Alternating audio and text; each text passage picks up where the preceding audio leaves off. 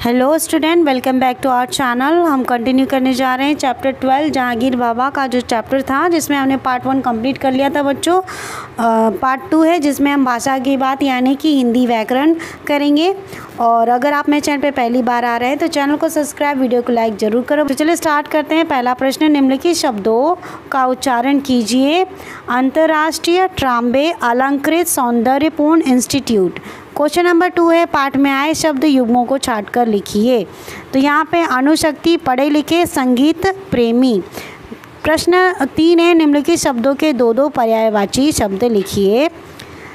तो यहाँ पे देखिए, संसार का जगत, जग, विश्व, दुनिया, उपवन, बाग, बगीचा, दीप का दिया दीपक, मार्ग का पथ, रा, रास्ता। क्वेश्चन नंबर फोर है दिए गए शब्दों में त्व, इत, ई प्रत्यय जोड़कर नए शब्द बनाइए। तो प्रभु धनत्व प्रभुत्व, पशुधनत्व, पशुत्व, नारीधनत्व, नारीत्व। पुष्प धन इत है तो पुष्पित सम्मान धन इत सम्मानित और प्रभाव धन इत प्रभावित।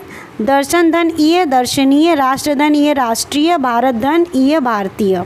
प्रश्न पाँच है, उपसर्ग जोड़कर नए शब्द बनाइए। उपसर्ग हमारा है अ, सु और दूर। तो यहाँ पे शब्द आपको दे दिए गए हैं, उत्तर देख लेते हैं। अधन शुभ, अशुभ, अधन ज्ञान, अज्ञान, अधन सभ्य असभ्य।